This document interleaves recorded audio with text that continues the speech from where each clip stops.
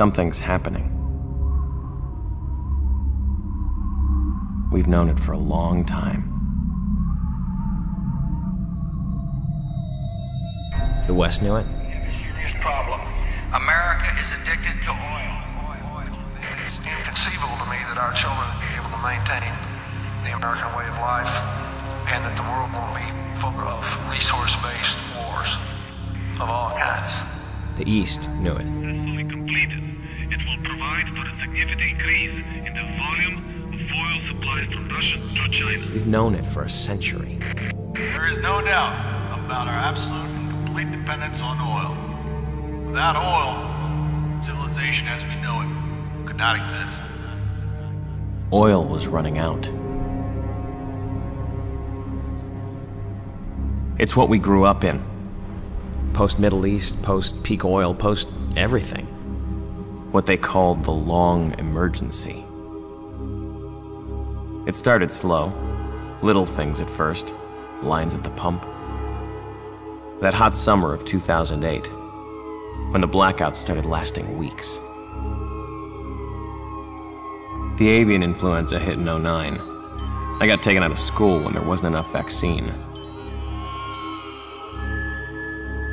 They said it would get better. Something would save us.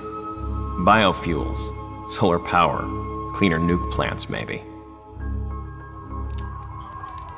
The Depression hit in 2012. Africa ran out of food, then we did too. People stopped trying to do anything about the problems and just tried to survive. We'd watched them starve for 40 years and it didn't seem real. But pretty soon the scenes we used to watch on the news were happening just down the street. It's been happening for years. Now we're at the tipping point.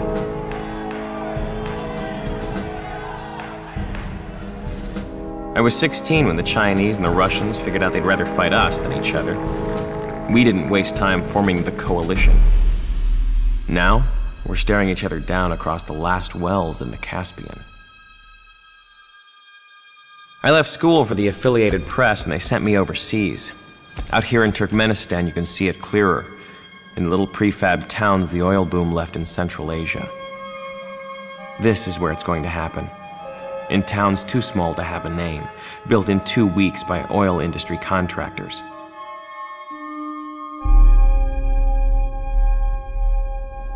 It's 2024, the 21st century.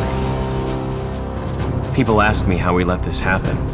I tell them, we always knew. The storm is coming.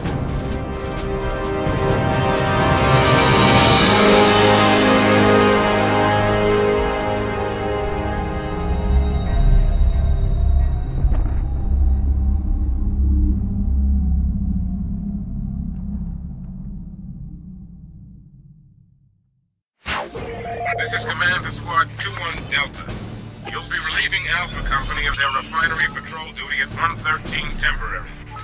Sandstorms in the area have knocked out radio communication and have been interfering with our satellite coverage. Once you touch down, find a working radio frequency and get Alpha Company to give me a status report.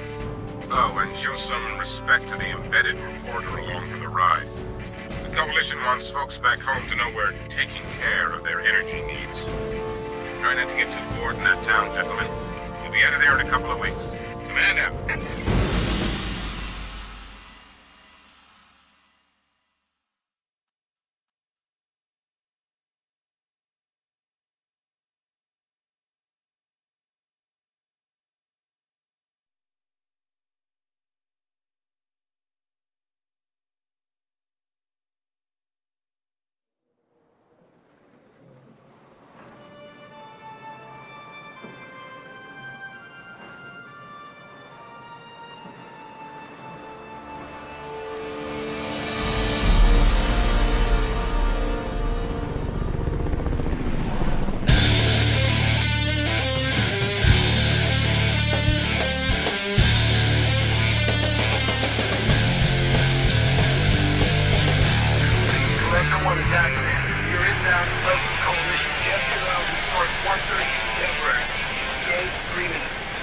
Thanks for the update, Skipper, but I'm still waiting for my in-flight meal.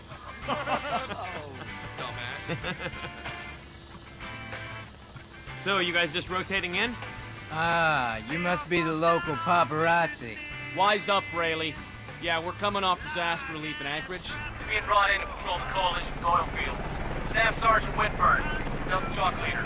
Andrews, uh, affiliated press. I'm doing a piece on all the military deployments in the Caspian. Gonna make you guys heroes. Too late for that, Pops. I was born a hero. Huh? A hero assigned to guard duty. Interesting. Coming up on the pipe. Welcome to summer camp, boys. You kidding me? They said there was a town. More like a mining camp. It's a dump. A pretty valuable dump, then. Most of the world's remaining oil is within 100 miles of here. Is that so, Princeton? Well, then why don't... Oh! Mayday! Mayday! Sector one! Identified. We just lost the tail rotor! Sergeant's hit! Second fire! Keep your head down, Bradley! We're losing him! Captain, get out of here now! Incoming!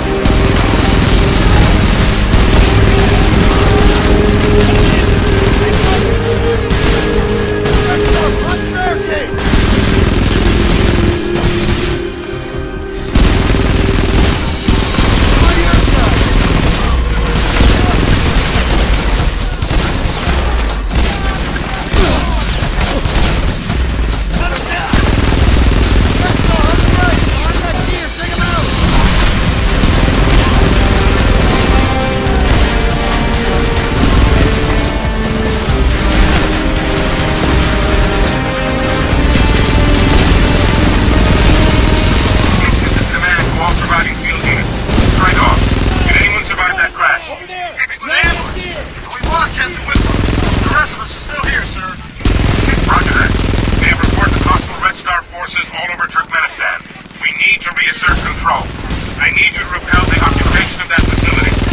I have two hotspots identified. I am posting them to your HUD. Proceed to these objectives